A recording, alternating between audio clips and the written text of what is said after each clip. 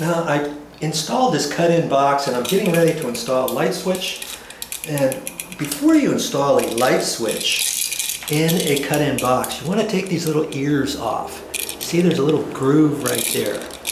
And so I, am just going to take my, my wire cutter and I'm going to score that a little bit and I'm going to take that and I'm going to bend it back and forth like that. Okay. I'm going to do that right here. Sometimes you can cut these in all in one go, but you know, it's hard to do. So I just scored a little bit more and then bend that off. Do the same thing here.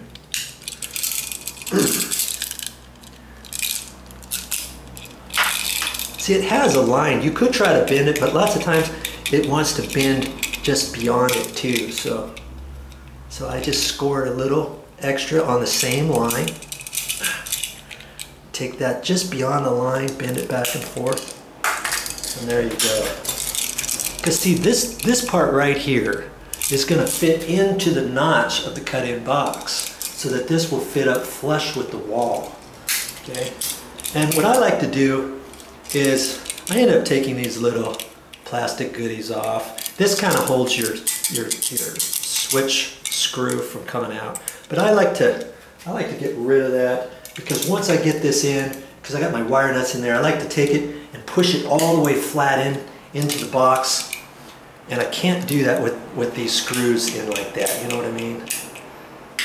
So I do it slightly different than some electricians.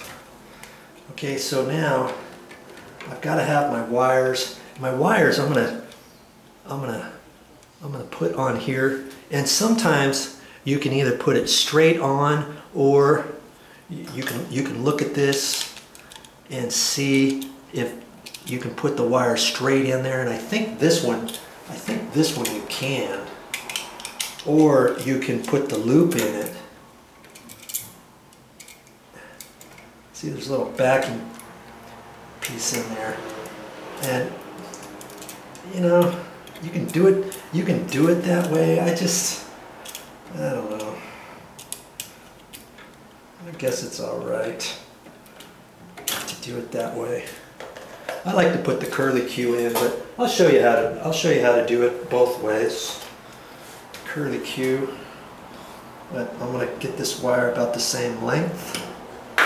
And my ground wire is coming out a little bit long. I'm just going to cut that a little bit.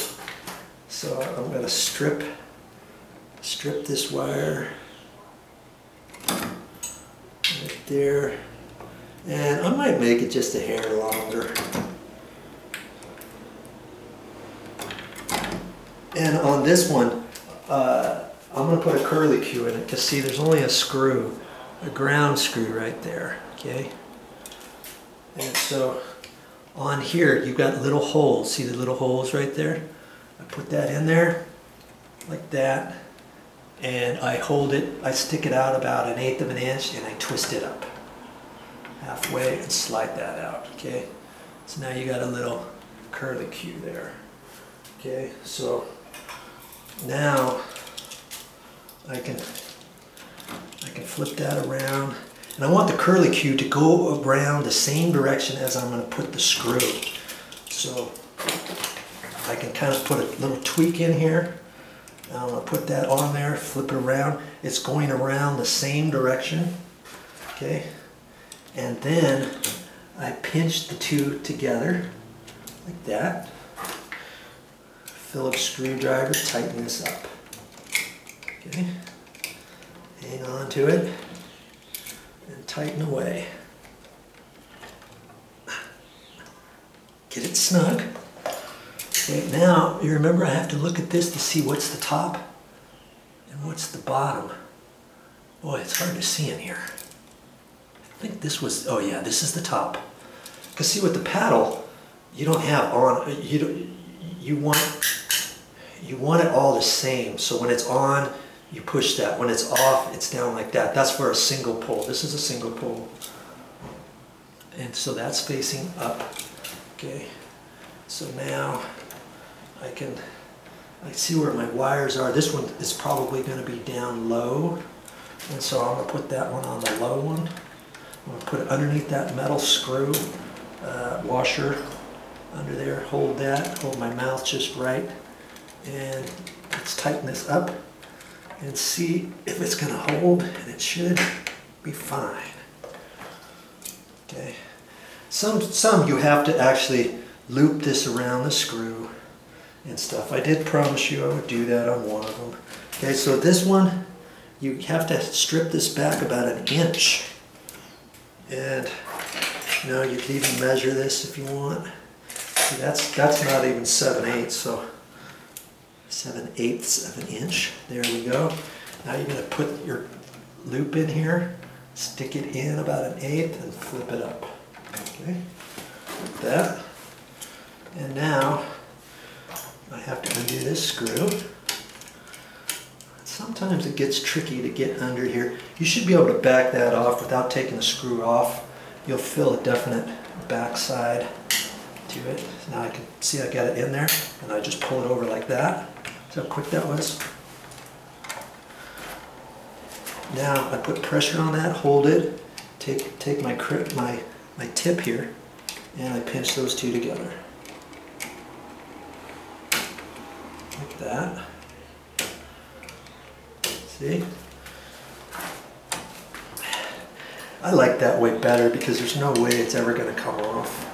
And see, it goes around the same direction that I'm tightening this screw, okay? There.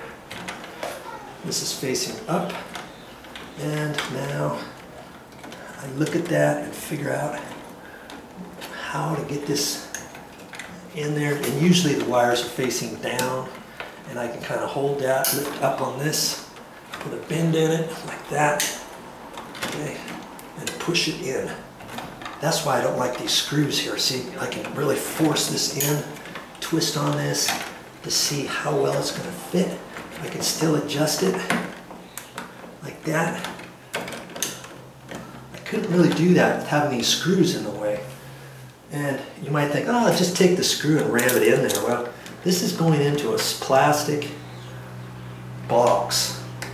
And you think you're going to do that with these screws? Good luck with that because lots of times you'll strip it out of the plastic or you'll bend the metal uh, because maybe the wire is hitting back behind there onto something, you know. See, now I can put these screws in.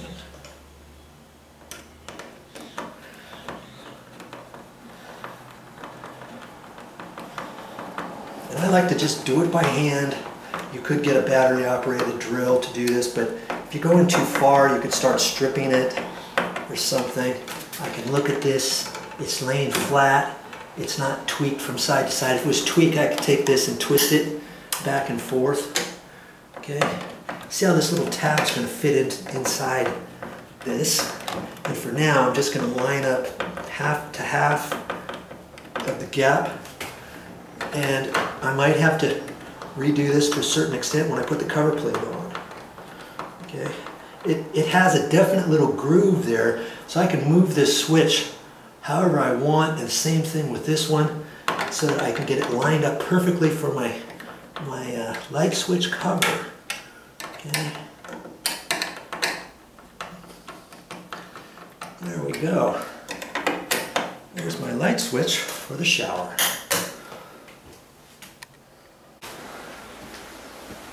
Well, that's all I got for this time. But I'll be back with more videos.